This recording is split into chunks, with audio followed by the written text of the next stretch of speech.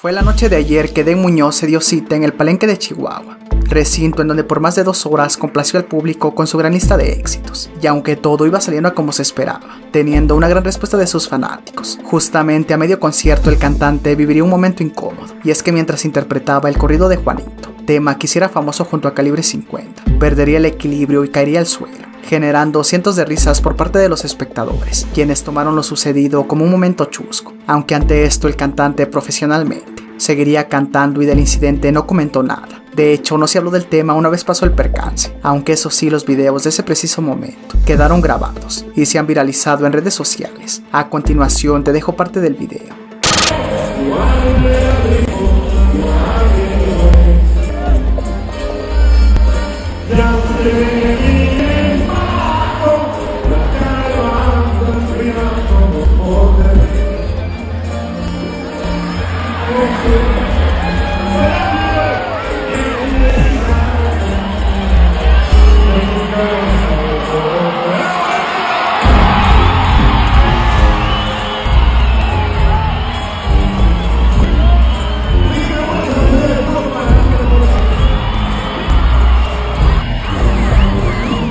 De hecho, esta no es la única vez que el cantante ha caído de los escenarios, pues junto a Calibre 50 también tuvo un hecho similar, en el año del 2016, aunque de mayor gravedad, al resbalar del entarimado en donde daban su presentación. Tal fue la caída que terminó hasta en el hospital, y por varias semanas cargó collarín, por lo que estos incidentes no son nada nuevos para él, y lo sabe tomar profesionalmente.